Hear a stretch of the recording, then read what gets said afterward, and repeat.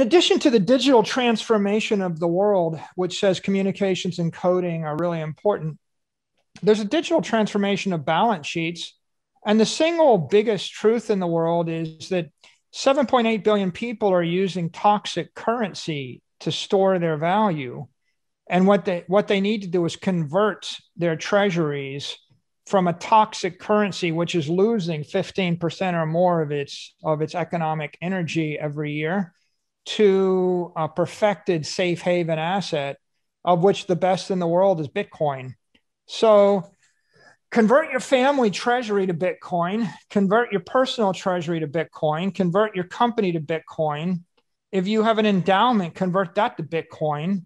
If you run a city, convert that to Bitcoin. It's a very simple idea, which is you have you have the strongest asset in the world. You can't make any more of it. One day, billions of people will want to own it. They've all got to squeeze through this one nozzle. Every day, you can buy a billion, two billion dollars of it. It's a bank in cyberspace.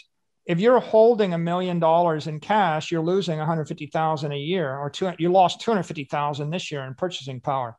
It's pretty. It's just melting away, and so everybody on earth needs to figure out how do I convert or digitally transform my balance sheet from something which is debasing to something which is accreting. And once you understand that idea, then it becomes pretty clear what else you want to do with your life because there's a, a million other things that follow from it, you know, that'll keep you busy once you get that big idea. So, for example, I, th- you know, if you want to be laser like in your focus and effectiveness, you got to think two things: focus and frequency. You know, uh, what is what is the right uh, focus and what is the right frequency? So, in terms of making economic decisions, I think the right frequency is is annually one, two, three, four, five, six, ten years. Look at blocks of time like that. Looking at the frequency and, uh, and, the, and the, the volatility and the returns or metrics on assets by the minute, by the hour, by the day, by the week, or by the month, even by the quarter, you know, are all kind of noisy. Likewise, I wouldn't look at uh, a uh, hundred thousand little minute assets. I would look at trillion dollar blocks. So there's a trillion dollars worth of Bitcoin. It's up 582% over a year and 200% on average. Compound annual growth rate 200% for a decade. Those are two numbers that are valuable. You know there's 10 trillion in gold. It's up 2% this year and 2% on average every year for a decade. Just stop right there. That's a big insight. You can measure a million statistics of bitcoin and gold you know every second. They don't matter what matters is one thing is appreciating at 2% a year and the other is appreciating at 200% a year. Now, what about 6,500 other cryptocurrencies? Irrelevant. They're not a trillion dollars. Okay, the S&P is 32 trillion dollars, up 39% this year, up 11% on average every year for a decade. Well, what do I think about 5,000 publicly traded companies? Irrelevant. I mean, maybe I can have an opinion on the trillion dollar ones Apple, Amazon, Google, Microsoft. Maybe. But, you know, you want to pitch me 50 million ventures? Irrelevant. 50 million small companies? Irrelevant. 89 million small pieces of, of real estate? Irrelevant. The big ideas are NASDAQ big tech is beating s&p it's up 57% year over year. It's beating s&p for a decade. It's 17% for a decade. If you buy a portfolio of bonds they were getting 4.2% a year for a decade. This year they got destroyed. They're minus 16% okay. That's all you need to know. Bottom line bonds don't hold value. Tech big tech does hold value.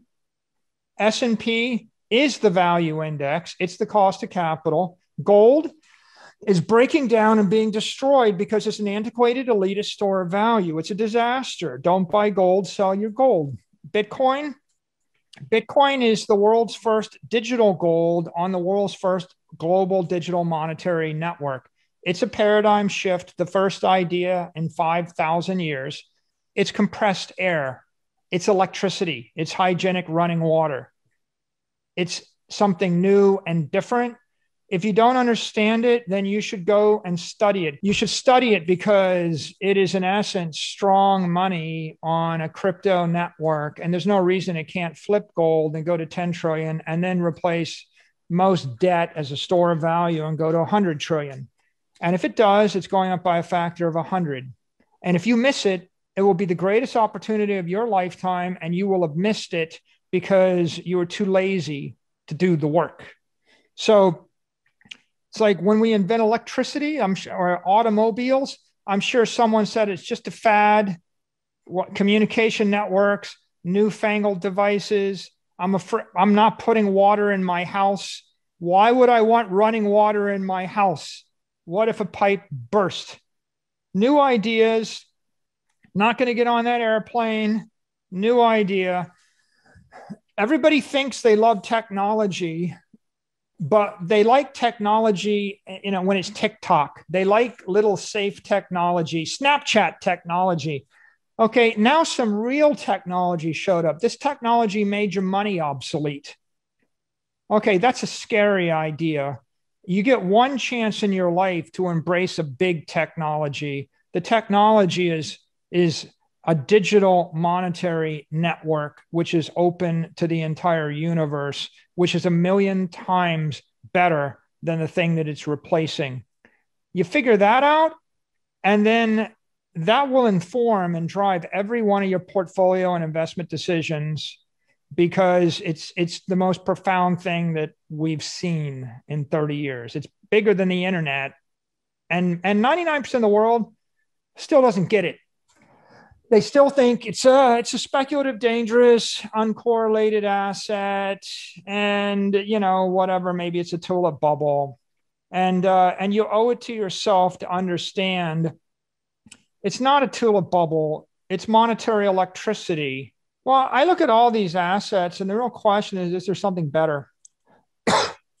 so there has to be something better. Like, what would make me um, sell Apple stock? Well, if you had a better mobile network, what would what would make you get negative on Amazon? Well, if there was a better retail network, what makes you get short Google? If there's a better information network, if there's something better, other you know, otherwise, and I don't see anything better because could, could Ether be better?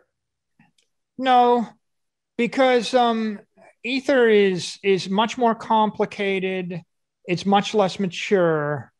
It is uh, it is not um, it's not a trillion dollar monetary network that's purpose built to be a store of value. Ether is is attempted to be many other things, including the world computer and a smart contract platform, and uh, it's going through a very rapid evolution uh, technical cycle. So as it goes from Ether 1.0 to Ether 2.0, the entire basis of the network is going to change from proof of work to proof of stake. That introduces a whole host of questions. And so it'll be three to five years, probably five years after the Ether 2.0 upgrade before you can evaluate what it is. If you're uh, a hard, a hardcore institutional investor, it's a different thing. I, th- I think that if you want to characterize uh, crypto universe, you have one thing Bitcoin, which is the dominant trillion dollar crypto asset network.